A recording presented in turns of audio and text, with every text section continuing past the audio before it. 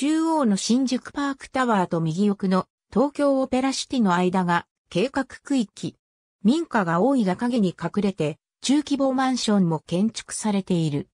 西新宿三丁目西地区市街地再開発は東京都新宿区西新宿三丁目における大規模な都市再開発計画。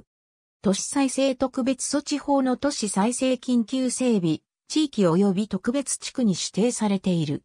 65階建てのツインタワーで総戸数は約3200戸を予定している。国内最高層の超高層マンションとなる。2019年3月15日に都市計画決定済み。2022年度着工、最終的な完成は2029年度を予定している。対象となるのは東京都新宿区西新宿3丁目8から18で、現在は東京都庁舎、新宿パークタワー、東京オペラシティなどがある一方、木造住宅が密集し、開発が遅れている地域が存在している。1993年に街づくり協議会が設立され、1998年に新体制に再編された。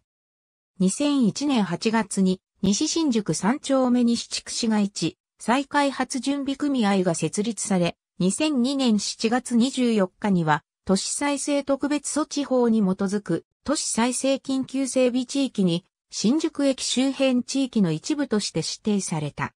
2007年に事業推進協力者として三菱地所、三井物産、新日鉄都市開発、野村不動産、旭化成ホームズが選定されたが、景気低迷などの影響もあり、計画は一旦白紙となった。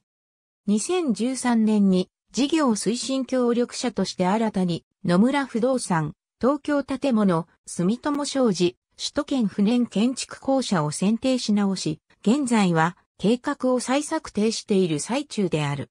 なお、このほか前田建設工業が事業協力者として、また佐藤不動産鑑定コンサルティングが事業コンサルタントとして計画に参加している。約30万平方メートルの高さ235メートル、65階建ての超高層住宅2棟を建設し、その低層部には商業機能が備えられる方針が検討されており、2016年度にも都市計画決定し、2019年の着工を目指していた。都市計画決定は2019年にずれ込んでいる。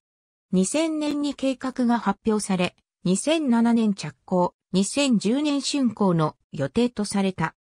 しかし、2007年11月には2011年度着工、2014年度一期工事竣工、2018年度全体竣工を目指すと報道されていたが、用地買収も進まずその実現のめどは立たなかった。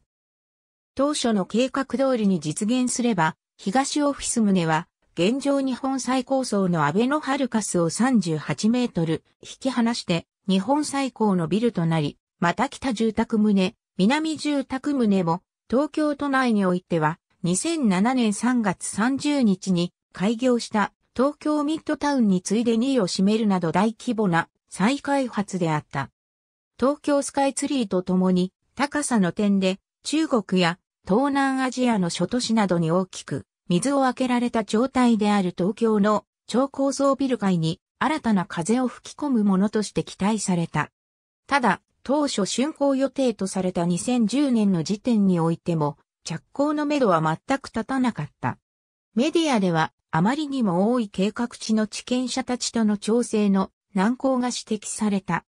対象となるのは、新宿パークタワーと東京オペラシティの中間に位置する、甲州街道、山手通り、水道通り、十二社通りに囲まれた85,740平方メートルの木造密集地帯である。両ビルとはデッキで結び、周囲と一体化した実現を目指す。